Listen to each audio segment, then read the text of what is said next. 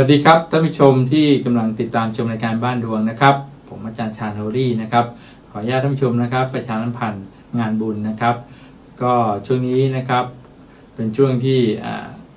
เป็นเทศกาลทอดกฐินสามัคคีนะครับที่เราจะเห็นกันอยู่ทั่วไปนะครับเขาเรียกว่าเป็นวัฒนธรรมอันดีงามของคนไทยนะครับ ที่ปีหนึ่งเราจะมีกระถินกันสักครั้งหนึ่งนะครับ ในรอบปีนะครับ ส่วนผมเองนะครับก็มีบุญมาฝากนะครับสำหรับการทอดกระถินทั้งสองวัดนะครับ ก็คือวันที่ 18เนี่ยผม 18พฤศจิกายนะครับ ผมจะไปอทอดกระถินนะครับที่วัดสถิตธรรมสถานภูมิเปาะจังหวัดสกลนครนะครับรายได้จะนำไปสร้างห้องน้ำนะครับให้กับพระสงฆ์แล้วก็ให้กับชาวบ้านนะครับสองหลังนะครับ เพื่อที่จะให้ท่านผู้ชมนะครับที่สนใจอยากจะร่วมบุญกันนะครับ อย่างน้อยก็ถือเคสนิดนึงนะครับ ว่าเราจะได้ปลดทุกข์ไปนะครับ เราจะได้มีแต่สิ่งดีๆ เข้ามามีความเจริญรุ่งเรืองนะครับ ในปี 2562 เราจะได้มีสิ่งใหม่ ๆ สิ่งดีๆ มีความสำเร็จเข้ามานะครับ ก็ท่านที่สนใจจะร่วมสร้างห้องน้ำนะครับ ที่วัดจังหวัด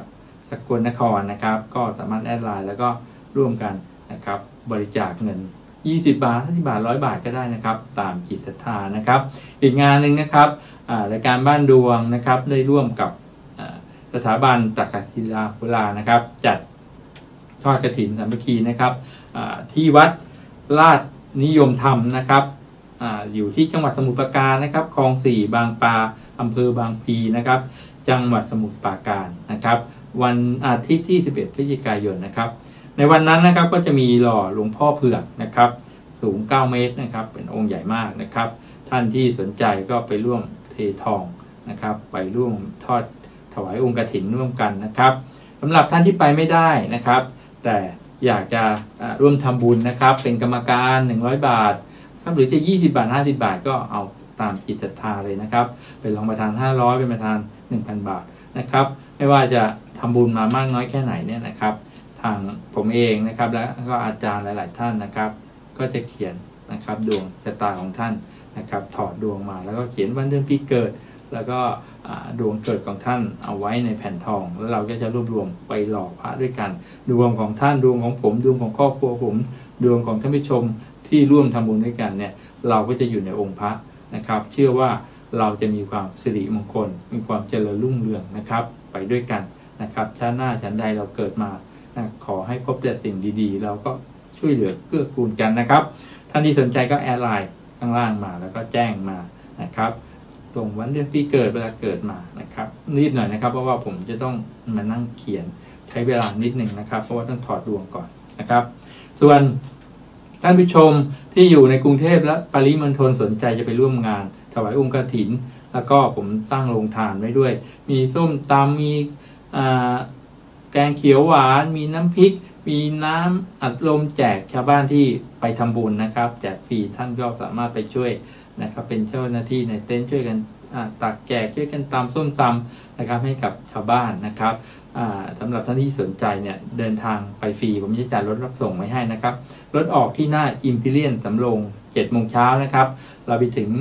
สัก8โมงแล้วเราก็ถวายอาหารพระนะครับ แล้วก็ถวายอุ้มกฐิน หลังจากนั้นเราก็มา นะครับตักข้าวตักอาหารแจกชาวบ้าน หลังจากเสร็จแล้วผมกับทีมงานนะครับ ก็จะมีการดูหมอนะครับมีค่าดู 200 บาทนะครับ ปกติก็ดู 500พันบาทนะครับ เราเก็บ 200นะครับสำหรับค่าดูหมอรายได้ทั้งหมดเนี่ยเราก็จะนำรายได้ในการดูหมอเนี่ยมอบให้กับทางวัดนะครับ ท่านที่สนใจนะครับก็เดินทางไปได้ แต่ถ้าท่านที่อยู่ต่างประเทศอยู่ต่างจังหวัดไกล แต่ว่าเดินทางไปด้วยไม่ได้ แต่มีจิตศรัทธาที่จะร่วมบุญร่วมกันนะครับ ไม่ว่าจะเป็นสร้างห้องน้ำหรือไม่ว่าที่จะหล่อทองอ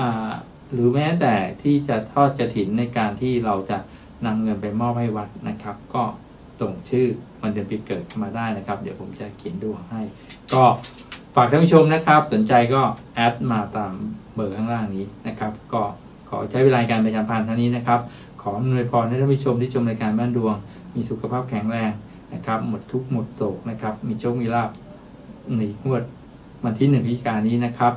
เราก็จะได้ร่วมทำบุญกันนะครับ ขอบคุณมากครับ สวัสดีครับ